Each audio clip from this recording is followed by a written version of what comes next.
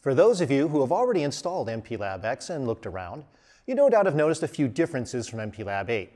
Many of those differences are just cosmetic. Some are simply the relocation of menu commands and configuration settings. However, there are a few features that are very different from what you are used to. Let's take a look at some of the more significant changes to MPLAB. The first and probably most crucial difference is that MPLAB X uses a new set of USB drivers for tools such as the REAL ICE and ICD3. There is a tool installed with MPLAB X called the Driver Switcher that makes the job of selecting the new open source drivers very easy. The process is discussed in detail in a separate episode of MPLAB X TV. Another difference is that MPLAB X is a pure project-based environment. This means that any activity you wish to perform requires a project. As a consequence, the process for importing a hex or ELF file has changed. When you select from the File menu, File, Import, Hex ELF, the IDE will launch a wizard that will prompt you for all the information required to create a project wrapper around the hex or ELF file. Although it is a new process, it is asking for essentially the same information that was required in MPLAB 8, but you don't need to remember to configure all those things manually. Perhaps the most visibly different aspect of MPLAB X is its project file structure. Unlike MPLAB 8, which kept all project-related information in two files, the MCP project and MCW workspace files, MPLAB X takes a radically different approach. There's no longer any one file that you can double-click on from your file manager because MPLAB X stores project information in a series of XML formatted text files. These files are stored within a very specific subfolder structure within your project folder.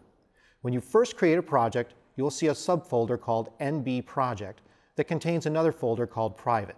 These two folders contain all of your project information and should never be removed or manually altered.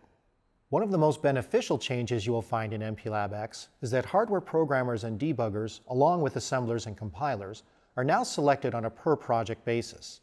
In MPLAB 8, when you selected a tool, it applied to every open project. In MPLAB X, every project has its own tool assignments. You can even use different compiler versions with different projects at the same time. Because of this, we now have the capability to do simultaneous debugging of multiple projects. The one change that will take the most effort to get used to is the way you build your projects. No longer do you have to explicitly select debug or release from the toolbar. Now, the type of build is implicit in the activity you are performing. The build and clean and build buttons are exactly the same as the make and build all buttons in MPLAB 8, except that they always build in release mode, so you won't be using them quite as much in MPLAB X. Instead, there are two new buttons that you will likely use more often, the make and program device button and the Debug Project button. Both of these buttons will make your project, but the Program Device button will build in release mode, while the Debug Project button will build in debug mode. Both buttons will then program the target, and in the case of the Debug Project button, it will optionally start the target running immediately.